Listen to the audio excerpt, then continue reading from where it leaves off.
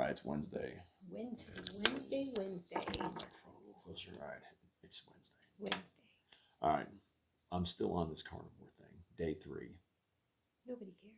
Hey, so I won't be drinking any beer tonight. Poor bastard. Oh well. I, on the other hand, am having beer because I'm eating real food like leaves and vegetables and noodles and stuff.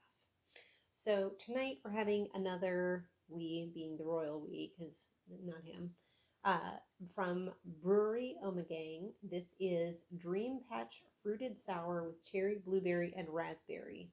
It is a six and a half percenter. Um, this is part of their omg series. So that same exuberant series that brought us the neon dreams or whatever it was i had the other day.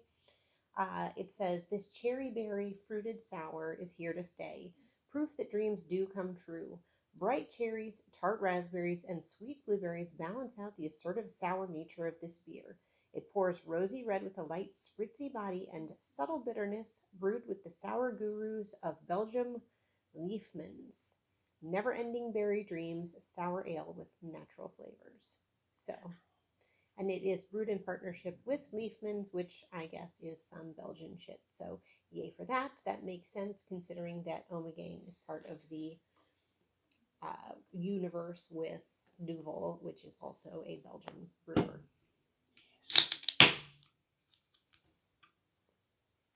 I smell fruits.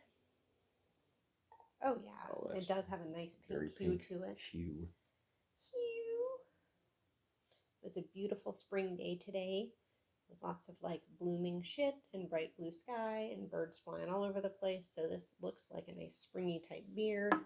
The color is stunning. It is a really pretty pink color. Uh, it does have that kind of effervescent, spritzy quality that they discussed on the can. Yes. You smell the fruits. Don't get any fruits in your nose. Yeah. It smells like um, cherry bomb trolls. From It it's got a cideriness to it. this. Very berry and fruit forward. How sour is it? Not overly sour, and the sourness doesn't linger. It doesn't give you that like vinegar thing to it. It is really. I'll kill you. it is really nice. Um, I was nervous because I had read somewhere about how sour this was going to be, and it's not outrageously sour. It's nice and tart, though. A nice fruit tartness, um, very cider esque to me. How's the cherry? Does it taste okay, or is it Robitussin-esque? It's not Robitussin esque. The bitterness they reference does come through, and it keeps it from being like cloyingly sweet, overly tart. The little bitterness that's in there is nice.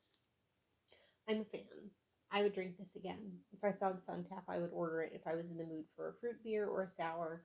If you're not super into sour beers, this one's not overly sour. So um, if you like ciders, this tastes very cidery to me. All right. Dream Patch, fruited sour by Brewery Ommegang. And I like the can art because it's got clouds with like fruits making weird ghost faces. Yeah, there's blueberries, strawberries, and cherries, and you can see the can art right there. So you can Good see all the things. Oh, yes. All right. Hey, if you're in the Cooperstown area, give it a shot. Do it. I'm going to go eat some cheese. That's a review.